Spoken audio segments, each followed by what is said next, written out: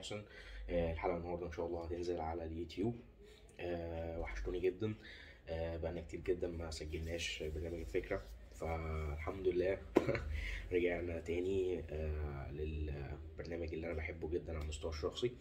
بحس إن أنا كده عارف عندي الحرية ال- الواحد يطلع الحاجات اللي بيفكر فيها ويطلع كل ال creative ideas اللي بيفكر فيها. فإن شاء الله تبقى هيبقى موسم دسم جدا. وهنتكلم بقى عن كل حاجة تخص المجتمع بتاعنا.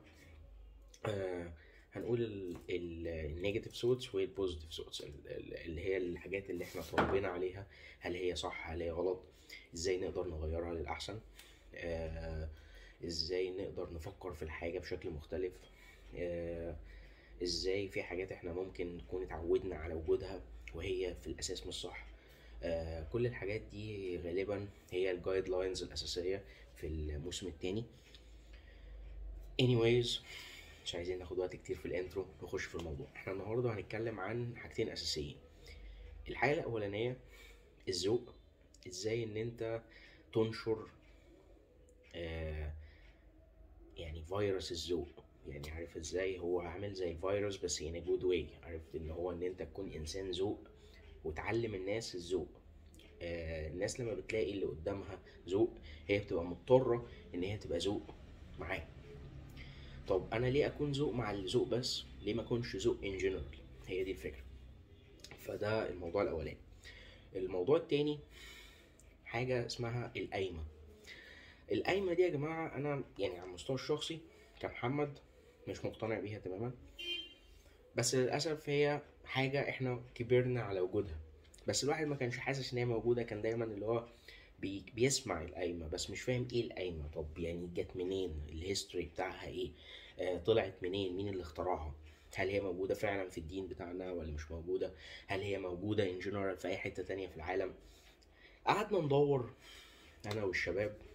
آه للأسف ما لقيناش أي proof أو أي إثبات عن حاجة اسمها القايمة مفيش حاجة في العالم اسمها القايمة طيب إيه القايمة؟ ده برضو يعني بقول لك بس ال main كده إيه الموضوع التاني يعني إيه القايمة؟ بتتعمل إزاي؟ إيه إزاي نشيلها من مجتمعنا ونكمل؟ آه مين الناس اللي متأثرة بوجودها؟ تمام؟ هل هي فعلا آه حاجة ضخمة جدا في. في, في إنجاز مشروع الجواز بالنسبة للشاب وبالنسبة للبنت طيب دول الموضوعين الأساسيين. نتكلم في الموضوع الأولاني موضوع الذوق. طيب أنا لما أكون إنسان عندي ذوق أو بعرف أتعامل مع الناس أو آه عندي ذكاء اجتماعي أو عندي ذكاء عاطفي أو عندي آه حتة السنس دي اللي هي أنت بتعرف إزاي تتعامل في المواقف. للأسف دي حاجة مكتسبة يعني اللي هيختلف معايا أو يتفق هيقولك إن هي حاجة جاية من التربية أو جاية من البيت اللي أنت نشأت فيه. دي مش صح.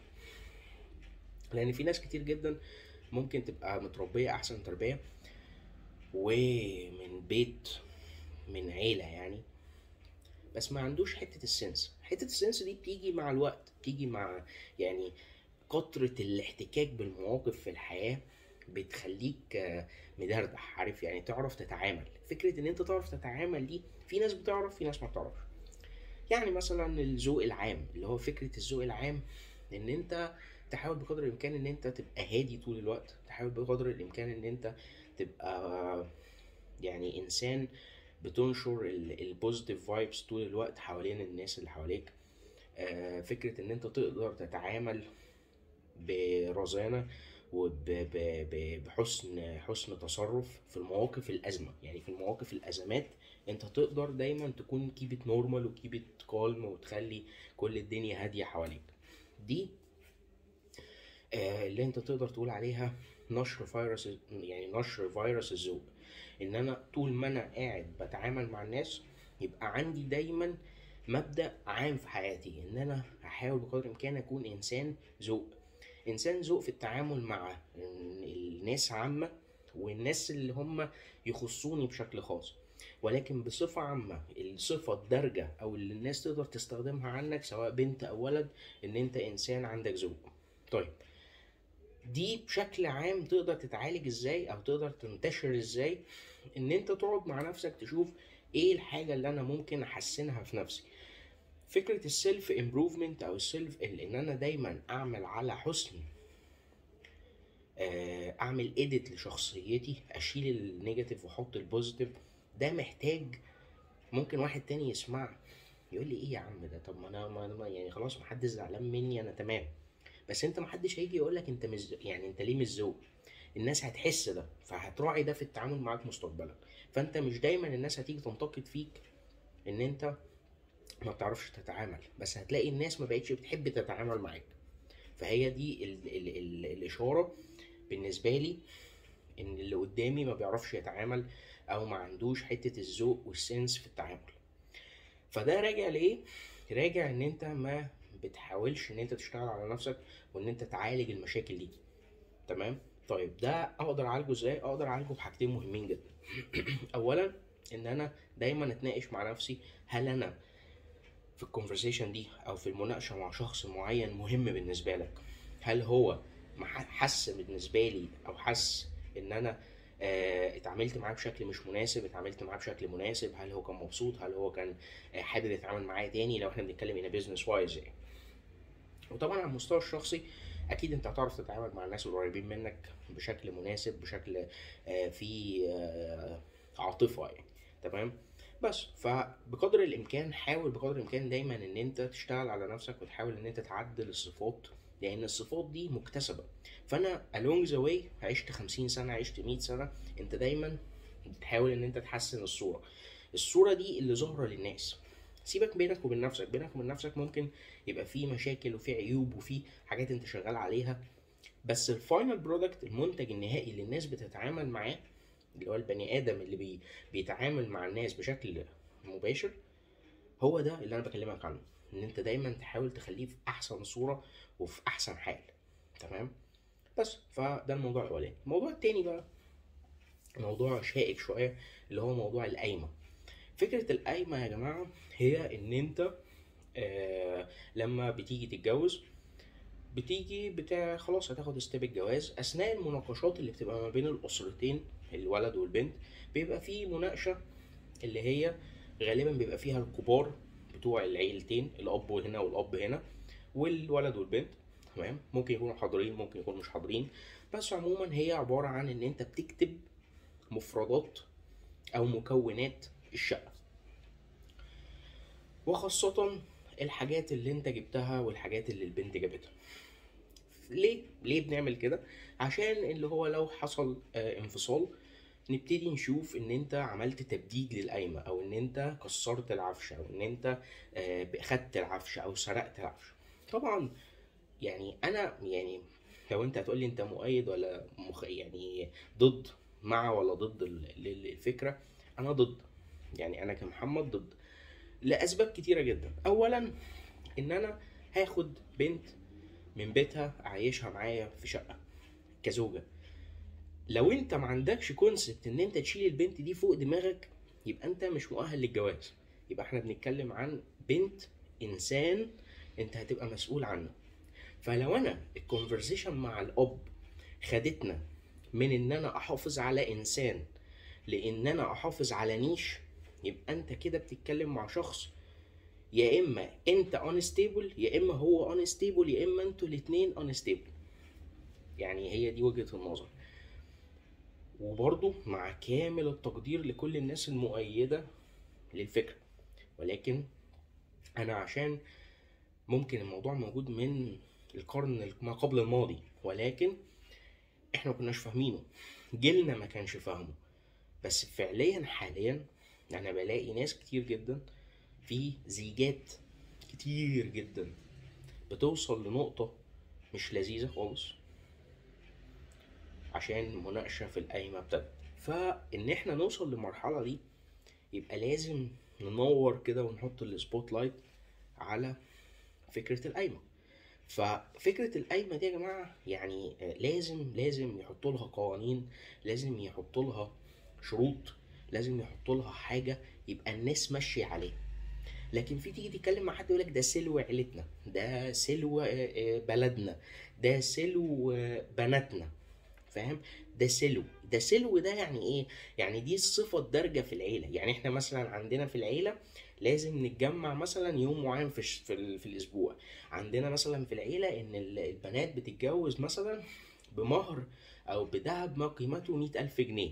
عندنا مثلا في العيلة إن لازم الفرح يتعمل في البلد مثلا. فكل في كل عيلة ليها قواعدها وشروطها وأحكامها. كل ده نحترمه جميعا. ولكن اللي أنا بتكلم فيه إن اوريدي الشاب عشان يوصل يوصل لمرحلة ونقطة إن هو هيتجوز دي يعني مش big step دي monster يعني monster step خطوة ضخمة جدا في حياة الشاب. فالشاب already بيبقى واصل لمرحلة كبيرة جدا كبيرة خدتوا بالكم التنهيدة دي؟ كبيرة جدا. من التجهيزات ومن الضغط النفسي والضغط العصبي والتوتر الفسيولوجي والإنسيولوجي والبيزيولوجي والفسيولوجي وكل الإيلوجي دي آه عشان يوصل لمرحلة أو نقطة إن أنا يا جماعة يقف كده أنا يا جماعة جاهز إن أنا آخد ال big step في حياتي. فعشان البني آدم أو الشاب يعني فكر معايا يا عزيزي المشاهد. يعني البني آدم أو الشاب الشاب إن هو ياخد ال step دي ويروح يتكلم مع باباه ويقول له يا بابا يا, يا, يا, يا والدي أنا جاهز إن أنا هتقدم للبنت دي. ونيجي بقى في ال conversation نتكلم والجوازه تبوظ عشان القايمة. it's kind of عارف انت weird كده. في حاجة في حاجة weird في الموضوع. يعني زي يعني في حاجة كده مش مظبوطة. فايه اللي بيخلي الموضوع يوصل للنقطة دي؟ أنا مش بقول إن الشكل العام إن في جوازات بتبوظ عشان القايمه ولكن في نسبة محترمة من الزيجات بتفشل عند التحدث عن موضوع القايمه عشان برضو الكلام يبقى واضح. تمام؟ فإزاي نحل المشكلة دي؟ حلين. ملهمش تالت. إن إحنا نحط قانون ينظم موضوع القايمة ده. يعني يا جماعة أنا هتجوز يبقى في قواعد ماشيين عليها. عارف أنت زي إيه؟ حاجات أساسيات كده. حد ما فيش بقى يقول لك إيه ده سلو عيلتنا وسلو جارتنا وسلو مش عارف إيه. كلنا ماشيين على رول واحدة وفقا وقانون. يا في يا مفيش قايمة. يعني في قايمة يا مفيش قايمة. أنا ممكن أحط القايمة دي في شكل فلوس. يعني نزود المهر مثلا. فاهم زي نزود مؤخر الصداق انت فاهم؟ يعني في كل الأحوال دي حاجات ما دي أساسية. يعني في أمريكا لما بتيجي تطلق مراتك بتاخد 50% من ثروتك. وش كده؟ مفيهاش هزار. يعني جيف بيزوس لما جه طلق دفع مليار و200 مليون. يعني ده جيف بيزوس. فاهم إزاي؟ ف... فهو موافق عشان ده قانون البلد. ما اعترضش. تمام؟ ولكن انت هنا بقى لما نيجي نتكلم انت عاقلها بدماغك كده. لما انت أب هتدي بنتك لشاب. هتيجي تتكلم معاه. هتقول له أنا عايزك تحافظ على بنتي وبنتي في عينيك والكلام ده. وبعد كده تقول له بس في بقى طقم صيني موجود في النيش تحافظ عليه برضه. وفي طقم مش عارف إيه تل... التلاجة لازم تحافظ عليه والشفاط لازم تحافظ عليه كده إحنا في يعني conversation مش مش ناضجة يعني عارف أنت مش conversation أقدر أستفيد منها وconversation إيه آه ناس ناس كبيرة وفاهمة. بس ف يعني يا ريت يا ريت الحلقة دي تبقى هي نقطة الانطلاق للتحدث بشكل جاد عن موضوع القايمة ده. لأن أنا عارف إن في ناس ما بتعملهاش وفي ناس بتعملها بس بتاخد الموضوع simple ودول يعني آه، برضو قطاع كبير. ولكن في قطاع كبير جدا مضرور منها وفي قطاع كبير جدا آه، برضو لو إحنا عندنا معدل طلاق أو معدل انفصال عندنا قطاع كبير جدا بيحصل مشاكل بسبب القايمة تمام؟ ف يعني يحطوا لها قانون نحسم بيه الجدال ونحسم بيه الموضوع ده والعائلات يبقى عندها آه، مرونة كافية إن هو يقدر يحسم إن أنا هعمل القايمة ولا مش هعمل القايمة ولو مش هعملها ده available عادي جدا براحتك. فاهم إزاي؟ ف اي هوب أتمنى ان ان إن الناس تبقى عقلها كبير وتفكيرها ناضج إن هما ياخدوا الموضوع مش عادات وتقاليد ولكن بالعقل.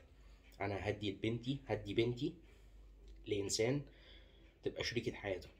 لا يمكن إن هو هيخاف عليها وهيحبها ويحافظ عليها ويشيلها فوق دماغه وبعد كده أتكلم معاه في إن هو عمل تبديد عفش مثلا لو حصل انفصال. فالموضوع ده لازم ينتهي ولازم يتحط له حل. فدول الموضوعين اللي كنت حابب أبتدي معاكم السيزون بيه آه النهارده إن شاء الله الحلقة هتنزل. أتمنى إن الحلقة تعجبكم. أتمنى إن أسمع ردود أفعال من الناس. آه وشكرا جدا جدا جدا. كل الناس اللي بتقول كلام كويس. كل الناس اللي بتنتقد. كل الناس اللي بتطلب أي edits معينة أو أي شكل معين للحلقة. إحنا وال team كله يعني بنحاول بقدر الإمكان نبقى دايما سامعين ال- الناس. ونتمنى الفكرة تكبر وتبقى دايما موجودة. نوصل معاكم لغاية ال season المليون. فبشكركم جدا جدا جدا على الدعم. بشكركم جدا جدا على كل الكلام الجميل. والحلقة إن شاء الله النهاردة هتنزل على كل ال social media. قطع يعني هتنزل حاجات مقاطع بس ال full episode هتنزل على اليوتيوب وفقا طبعا وال copyrights بقى والحاجات دي أنتوا فاهمين. فلازم اليوتيوب هو يبقى الأساس. فبتمنى weekend سعيد لكل الناس ويا رب الحلقة تعجبكم. اشوفكم الأسبوع الجاي يوم السبت من كل أسبوع. كان معاكم محمد محسن